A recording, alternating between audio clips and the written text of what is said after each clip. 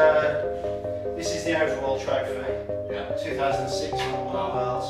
We've got three silvers here. Silver from 2003, uh, 2004, gold in 2006 when I won the overall, well, I won the middleweight class and the overall, the trophy. Then 07, got another silver, so I've got enough on there, you know, you don't overcut it, do you? Yeah, that's the goal. but that's where we're going to get to.